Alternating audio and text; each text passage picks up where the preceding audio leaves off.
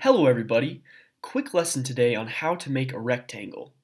Last lesson we left off having made a square named my square, coloring it red, and displaying it using the show command. What I'm going to do is turn this square into a rectangle. Before I show you anything, however, I'm going to change every instance of the name my square into my shape so that we do not get confused with what we are talking about.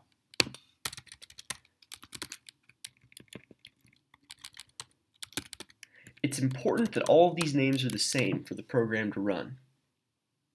Now that this variable is renamed, I'm going to turn this square into a rectangle.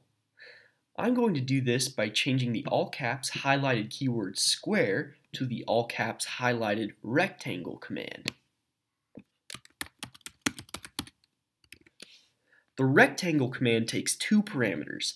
The first one is a number which defines the length of the rectangle in the x direction. The second defines the width of the rectangle in the y direction. Let's give it a first parameter of 3 to make it 3 units long in the x direction, and a second parameter of 1 to make it 1 unit wide in the y direction. Then let's run our program to see our rectangle. Here it is. An important thing to notice about the rectangles that we make with the rectangle command is their default position. In the viewport on the right, you can see that there's a grid of squares. You can also see that there are these two colored arrows, which run along the edges of our rectangle. These are the axes of the coordinate system. The red arrow is the x-axis, and the green arrow is the y-axis. They meet here on the bottom left corner of the rectangle at what is called the origin of the system of coordinates. Their intersection divides our coordinate system into four quarters, called quadrants. The upper right quadrant is the first quadrant, the upper left is the second, and the count continues counterclockwise around the origin.